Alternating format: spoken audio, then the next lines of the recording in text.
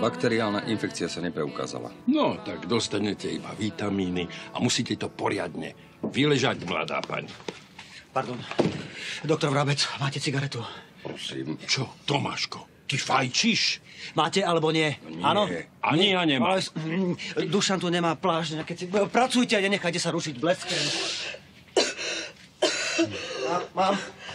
Pardon. Chochp. Čo? A na to si ako prišiel? Viem to. Chronická obštrukčná choroba plúcna.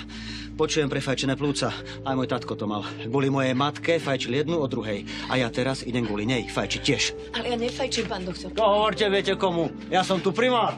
Pracujte, pardon. Pán doktor, ale ja naozaj nefajčím. A vy náhodou nefajčíte doma vnútri? Však fajčím. Nie, nejak veľa. Koľko? Jednu, dve.